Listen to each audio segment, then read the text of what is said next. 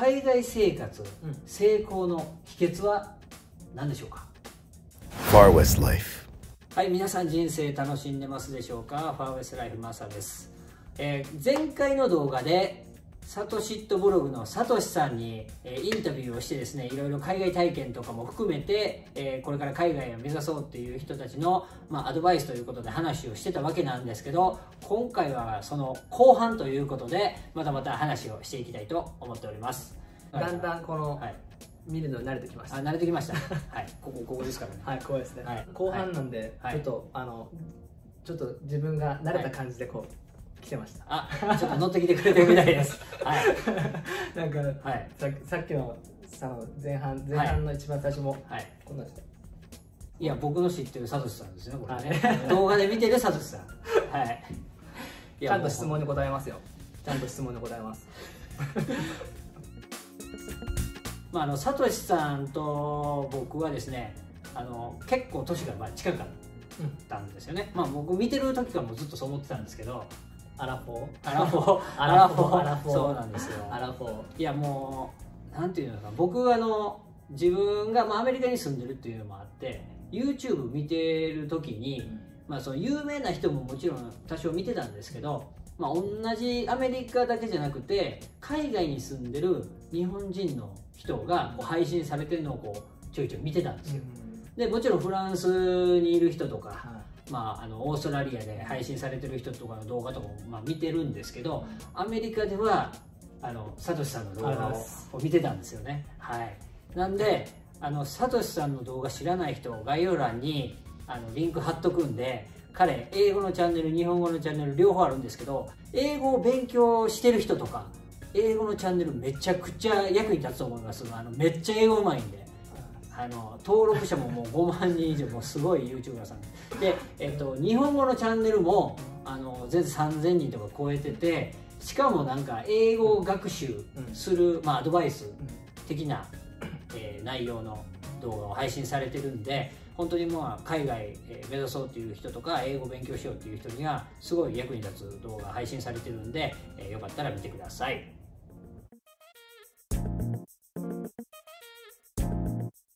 次の質問なんですけど、うん。まあ若い子だけではなくて、はい。まあ、僕の動画でも結構質問とかあと DM とかも来たりするんですけど、その海外に行くのに、その若くなくても大丈夫ですかと。要は年齢は関係ありますかと。年取ってからでもうん。海外挑戦間に合いますかっていうような、まあ、あの質問とかも来たりするんですけど、えーどう思いますか？年齢は関係あると思いますか？えー、関係どっちともどっちちょっとどっちとも言えないかもしれません。あどっちも言えない。はいえその挑戦するっていうのがまず。はい。まあ、だから一応例えば今まで僕にそのメッセージをくれた人のうん。まあ例を出すと、うん。そのビザが取れる取れないははい。ひとまずちょっと置いといて、はい。そのビザの問題じゃなくてそのももっとメンタル的な問題で、うん。えー年を取ってからでも、うその海外挑戦することにまあ意義があるかどうか。あいいやまあ海外挑戦は多分はい。いくつになっても誰でもできるとは思うんですけども、はい。まあその後のどういうビジョンを持たれてるかっていうのですかね。例えばを持つかどうか。はい。うん、例えばそのそのままずっとそこで暮らしたいのかとか、はい。日本にあの戻る予定があるとか。やっぱりその先ほどの就職の話になりますけどもじゃあ40歳であの海外に1年間留学します。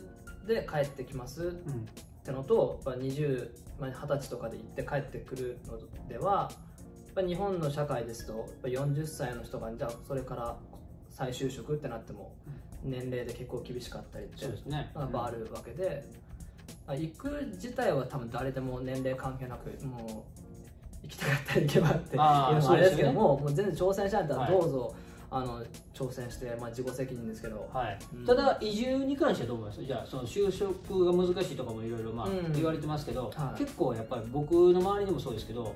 あの大人になってから来ようっていう人は、うん。その戻って就職っていうより、う移住したいっていう思って来る人結構いるんですよ。住みたいってそれってい。う年齢いくつぐらいのかなあもうバラバラですね。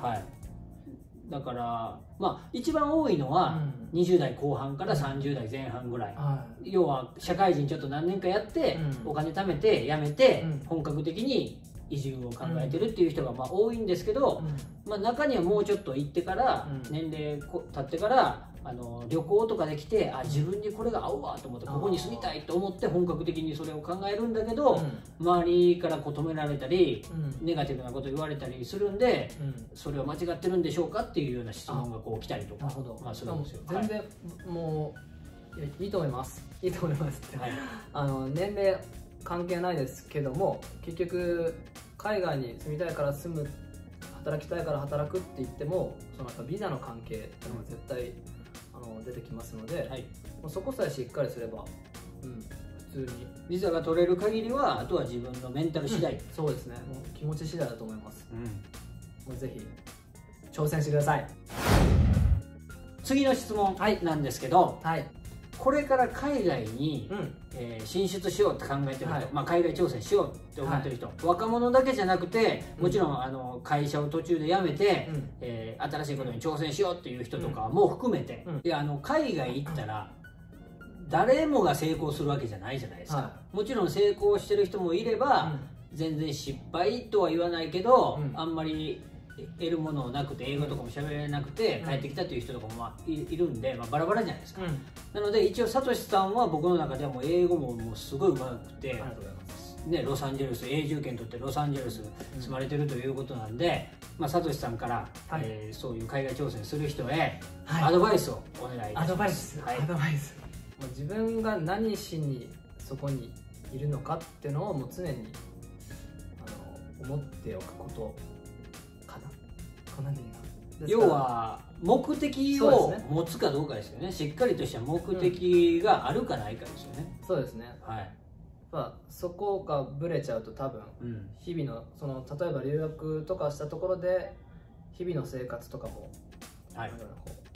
そこがブレると生活もブレてくると思います。なるほど、僕がそのオーストラリアワーホリ行った時に、うん。絶対に英語喋れるなって帰るっていううん。もうここが全くブレなかったんではい。もう他の日本人の語学学校の他の日本人の生徒にはい。あいつ英語しか喋らんけん無視しようぜみたいな感じな感感じで嫌われようと、はい。もうそこあのブレることなかったんでその体験談ずっと見てましたよ、はい。僕は。はい。で そのあったので、はい。もうなんですかねそこがブレなかったんで、はい。どんだけ周りから嫌われようとあの一生懸命勉強して。はい。でやっぱその1年間ですごく喋れるようになったのでやっぱその何か挑戦する何か挑戦するってことは多分何か理由があると思いますのでそのその理由をいつもあの心に。はい。はい、まあ、それがいいところに就職するっていう目的なのかうん。それともね、えー僕みたいに人生経験を得たいっていうふうに持ってる、まあ、目的なのか、うん。まあ、それともそのね他にもいろいろあると思うんですけど、えー友達をいっぱい作りたいとか、英語を完璧に喋れるようになりたいとか、うん。ね、人によっては違うと思いますけど、その目的を何も持たずに来るとはい。やっぱりホームシックになったりとか、ね。何も得れずに帰ってる人とかも、まあ、僕も見てきたんで。何も得れずにって人とも多いですよね。多いですよね。あの僕派遣の仕事を日本でしてた時に、そのアメリカ来る前にねはい。派遣の仕事して、まあ、クルーズ船とか乗ったことあったんですよ、うんであとは海外インバウンドとかの仕事もしたりしたんですけど、そのまあ、海外にちょっと関係する仕事なんですけど、やっぱりねワーキングホリデー帰りの人とかと結構うん。一緒に働いたりする機会があったんですよ、はやっぱ全く英語喋れない、えー人もまあたまにいましたけどでもやっぱりそういう海外に関係する、いうん。えー仕事ってある程度英語が喋れないとうん。できない仕事とかもあるんで、うん。その完全な通訳じゃなくても、うん。ちょっとしたインバウンドの仕事とかは、うん。やっぱそういうワーホリ帰りの人いたんですよ、はい。だけどあのほんまに基本的な英語ぐらいはできるんですけど、うん。話聞いてたら、その要は日本食レストランで働いて、うん。日本人と遊んじゃって、うん。気が付いたら1年経って、まあ、帰ってきたみたいなっていうケースが結構まあ多かったですよね、まあ、楽しかったっていう人ももちろんいますよ、まあいますけどね。ね。うん。だけどその周りがやっぱり言うように、うん。その帰ってきてそのこういうスキルがあって自分はこういうことができますよっていうような感じにはならなかったっていう、まあ、ケースを見てますよね。ねよくなんかあのこう大事なのは楽しむことだとか言うじゃないですか、はい。もうもうなんていうんですかね海外のはい、海外生活で大事なのはとかね。決まり文句決まり文句、はいはいそう決まり文句で。楽しむことが大事、まあ間違ってはないでしょうけども、僕個人的にすごく大事なのって、はい。あのこう一人で楽しめる何かを見つけること。ほ なんですけどうはい。あのみんな僕もそうだったんですけどはい。海外行くじゃないですか。でアメリカとかまあ行くとしてはい。こう僕最初あのコミュニティカレッジ行ってたんですけども、こうテレビとかドラマで見るようなキャンパスライフがあるじゃないですか。はいはいはいはい。学校が終わって一緒にスタバでこうコーヒー飲んで、はい。みんなでこうワイワイワイワイして、はい。でこうパーティーがあってドミトリーだからはい。ドームでパーティーがあって、はいもう、まあ、カレッジなんでね。はい。全くゼロなんですよそんなん。多分ないのが普通だと思うんですよね。僕,、はい。僕が間違ってたらごめんなさい、はい。でも多分ないのが普通だと思うんですよ。ないのって言いますか。普通に、まあ、カレッジの場合はその多分大学とか行くと別でしょうけども、はい。カレッジって結構あのー仕事しながら行ったりしてる人とかもやっぱあまあまあいますね。いますよね、はい。あのそういうのが全くなくで僕そのアメリカの時は語学学校行ってなかったので、はい。でそんな一緒の語学学校の友達とかもなく、はい。まあたまたま自分らだけかもしれませんけど意外と一人でいることが多かったなるほど。留学しても。はいはいはい。で多分留学先で友達とか作る人とかもこう長く滞在すれば滞在するほどこう帰っていく人とかいるいるんですよね,、はい。ねあ仲の良かった友達が日本に帰ったとか、はい。どこどこに帰ったとか。そうするとどんどんこう周りの友達とかもなんな変わってきますよね。変わってきますじゃないけど。あの僕の場合ははい。あの結局一人になりました、はい。はい。まあ、別に一人嫌いじゃないんでむしろ好きな方なんであのあんまり気にしてないんですけども、はい。でもそれってやっぱ一人で楽しめる何かを持っとかないと、まあ、本を読むとかもそうですけども、はい。結構辛いと思います。